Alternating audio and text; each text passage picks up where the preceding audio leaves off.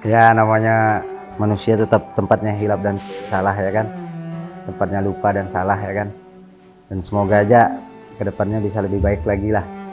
Lebih meninggal meninggalkan hidup yang hitam, yang gelap untuk masa masa depan yang cerah.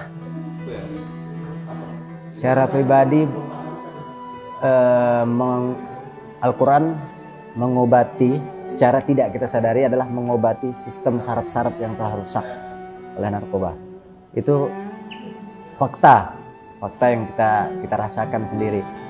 Karena tanpa kita sadari Al-Quran ini telah menghilangkan kebiasaan-kebiasaan buruk yang sering marah nggak jelas, yang sering emosi yang nggak jelas.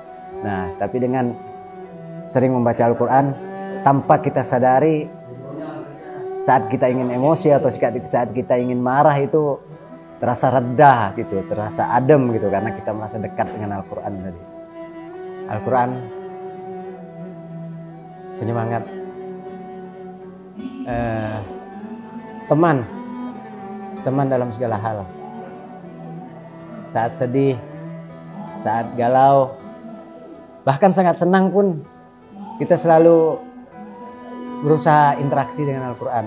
Bukan bagaimana tentang kita membacanya, tapi bagaimana tentang kita selalu berinteraksi dengan Al-Quran.